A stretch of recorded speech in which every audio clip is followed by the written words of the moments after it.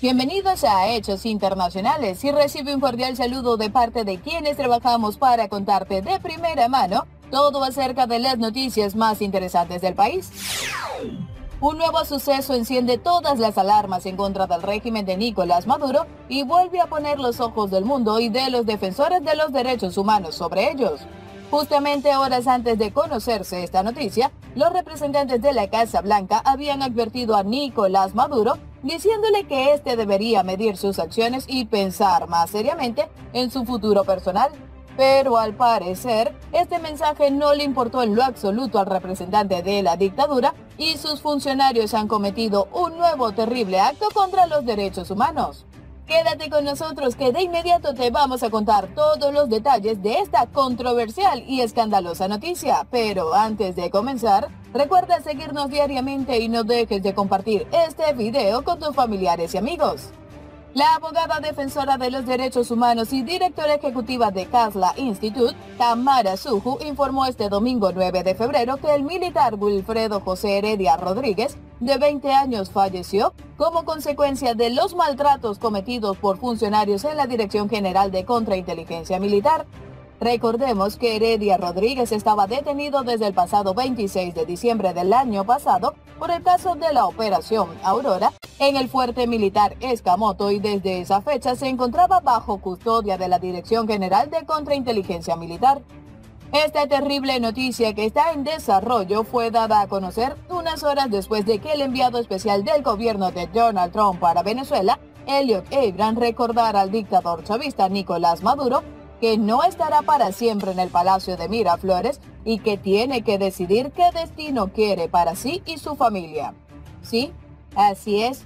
Tan solo un par de horas antes de conocer esta escandalosa noticia, el enviado especial del gobierno de Estados Unidos para Venezuela, Elliot Abram, le recordó a Nicolás Maduro que no estará en el Palacio de Miraflores, es decir, en control del Estado para siempre, y en consecuencia sugirió que debería pensar más seriamente en su futuro personal.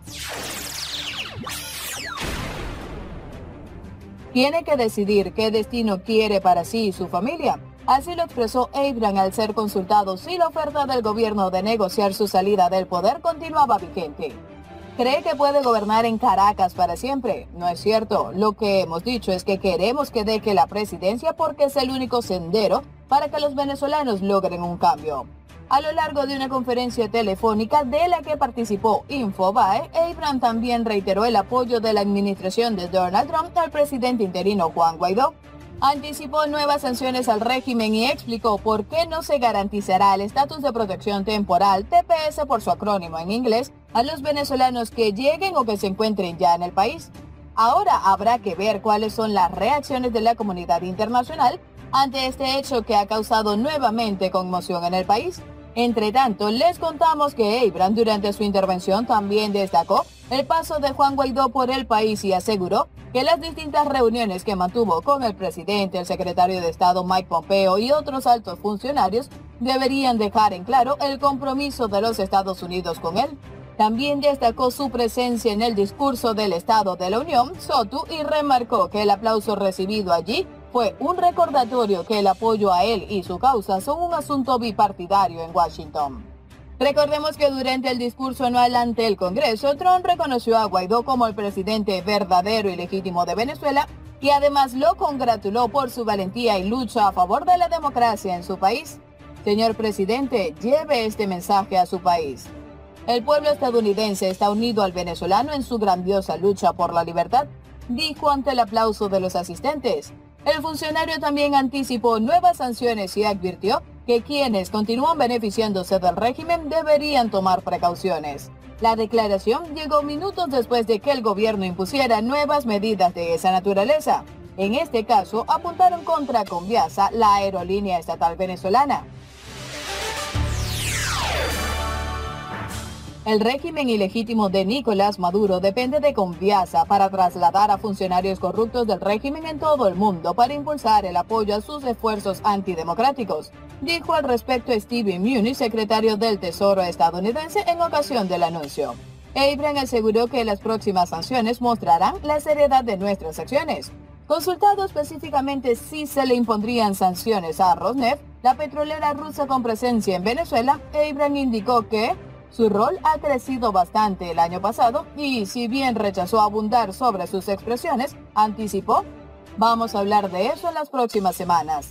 Sobre el rol de Rusia en Venezuela, particularmente considerando que el viernes el ministro de Relaciones Exteriores, Sergei Lavrov, se reunió con funcionarios chavistas, dijo, Lavrov está en Caracas, tiene el derecho de viajar, pero creo que está mirando lo que pasó el 5 de enero, día en que los diputados chavistas intentaron tomar la Asamblea Nacional. Mirando la condición de la economía y las sanciones que hemos impuesto y las que están llegando, dudo que Lavrov esté felicitando a Maduro. Y en referencia a otras noticias sobre el régimen, les contamos que este sigue metiéndose en camisa de once varas y ha anunciado que no descarta darle el estatus de asilada o refugiada a la excongresista colombiana Aida Merlano. El fiscal general de Venezuela, Tarek William Saab, dijo que si la política lo solicita, es muy probable que sea aprobado. Saab ha apuntado en una entrevista con Caracol Radio que Merlano es una mujer que fue atropellada en sus derechos civiles y humanos por las autoridades colombianas y que por ello podría ser protegida en Venezuela. Inclusive durante la audiencia, la voz de la excongresista de Colombia se quebró y en varias oportunidades lloró abiertamente. Su discurso apuntó siempre a mostrarse como una dirigente perseguida porque estaba cambiando la manera de hacer política en su país. Merlano llegó al lugar elegantemente vestida de pantalón de cuero negro y abrigo rojo, que algunos periodistas reseñaron como un guiño a las bases chavistas, pues es el color oficial del chavismo, y perfectamente peinada y maquillada. En este contexto, el fiscal general de Maduro, Tarek William Saab, ha afirmado que de concederle asilo, se preservarían sus derechos e integridad física, lo que puede eventualmente incluir que pueda tener una vida fuera de la cárcel en Venezuela. Asimismo, ha mencionado la posibilidad de que su defensa pueda solicitar medidas cautelares para que salga de prisión.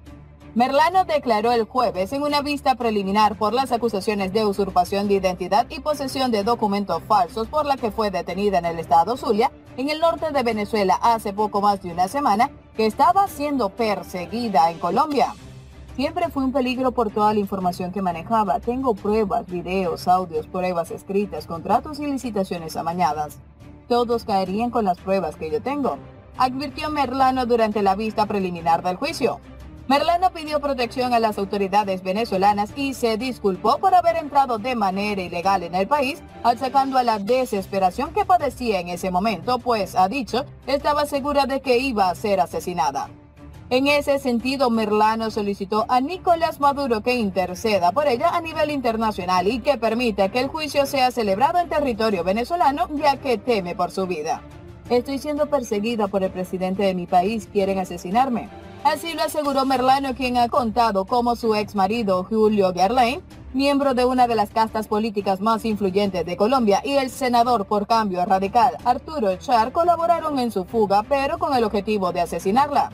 El Ministerio del Interior del régimen anunció que tras arduas investigaciones, Merlano había sido detenida en la ciudad de Maracaibo, en el estado Zulia, tras huir en octubre de 2018 de Colombia. Merlano, quien fue miembro del Congreso de Colombia por el Partido Conservador entre 2014 y 2018, logró entrar en el Senado, pero fue acusada y condenada a 15 años de prisión por haber comprado votos para lograr su escaño. Tras conocerse la noticia, el Ministerio de Justicia de Colombia anunció que el gobierno haría una solicitud de extradición ante el legítimo gobierno de Venezuela que encabeza de Juan Guaidó, ya que no reconocen la legitimidad de Nicolás Maduro como presidente. Sin embargo, la decisión de Duque generó polémica, pues Guaidó, pese a ser el presidente interino de Venezuela, no tiene control alguno sobre los tribunales o las fuerzas de seguridad del país. Por su parte, Maduro, quien calificó de ópera bufa los movimientos del gobierno de Duque, anunció que estaría dispuesto a restablecer relaciones consulares con Colombia a fin de intentar solucionar esta cuestión. Sin embargo, se encontró con la negativa del presidente colombiano. Sin embargo, hay que tomar en cuenta que la presentación de Merlano en Caracas no era judicial, aunque ocurrió en una corte de la capital. La audiencia estaba más dirigida a los medios de comunicación que le dieron amplia difusión a lo que dijo. Y con este resumen informativo nos despedimos por el día de hoy. Nos vemos en la próxima. Esto fue Hechos Internacionales. Chao, chao.